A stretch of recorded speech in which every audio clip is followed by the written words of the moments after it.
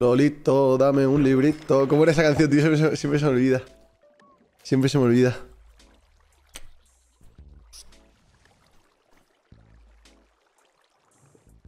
Venga, Lolito. Queremos un librito. Eso era, eso era. ¡Oh! Perforación 3 y filo 3, coño. Ah,